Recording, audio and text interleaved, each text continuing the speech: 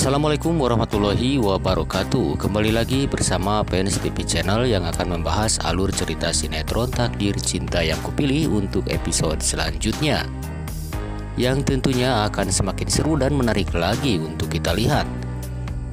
Yang mana di episode selanjutnya akan banyak sekali adegan dan momen yang menegangkan baper Dan juga akan banyak sekali mengungkap tentang masa lalu Pak Arjuna yang pada episode sebelumnya belum pernah terungkap.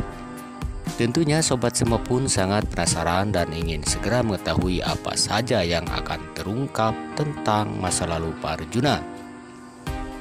Dan apa yang akan Pak Arjuna alami setelah masa lalunya semuanya sudah terungkap.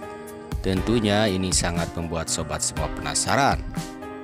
Untuk itu tonton video ini sampai dengan selesai ya guys. Namun sebelum lanjut ke pembahasan alur cerita selanjutnya, alangkah baiknya buat yang baru saja bergabung dengan channel ini untuk mendukung channel ini dengan cara like, komen, dan juga subscribe-nya.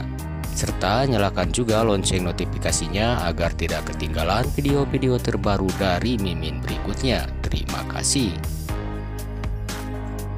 Seperti yang sudah kita lihat dan kita ketahui ya guys, Arjuna saat ini sudah benar-benar sangat keterlaluan terhadap keluarga Nopia dan sangat ingin membuat Jeffrey menjauhi Nopia.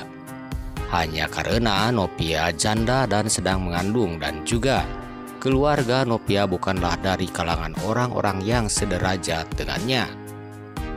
Tapi usaha Pak Arjuna untuk memisahkan Jeffrey dengan Novia pastinya akan membuat Pak Arjuna lelah. Karena Jeffrey tidak akan bisa ditaklukkan oleh Pak Arjuna. Pak Arjuna juga tidak akan lama lagi akan mengetahui siapa Novia sebenarnya.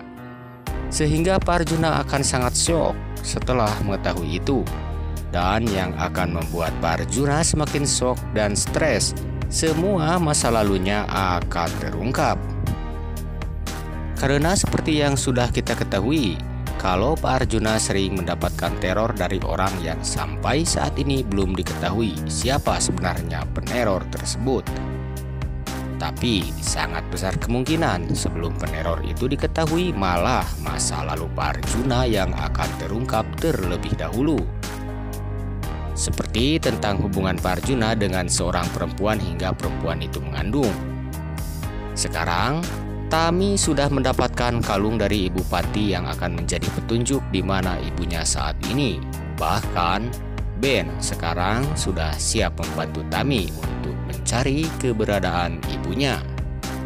Dan ada kemungkinan ya guys kalau sebenarnya ibunya Tami itu dulu pernah mempunyai hubungan juga dengan Pak Arjuna dan tidak menutup kemungkinan kalau Tami sebenarnya adalah anak Pak Arjuna.